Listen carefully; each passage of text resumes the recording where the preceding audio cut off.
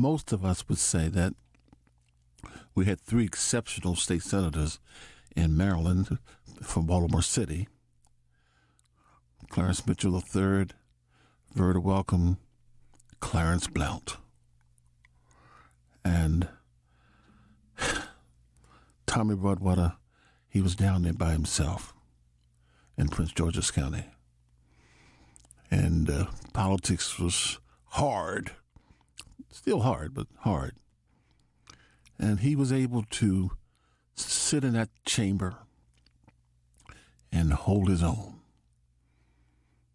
And I want to say that a couple times when I did have a chance to talk with him, he always had a positive word, always encouraging. And he never let the politics of the hour turn him against where he wanted to go.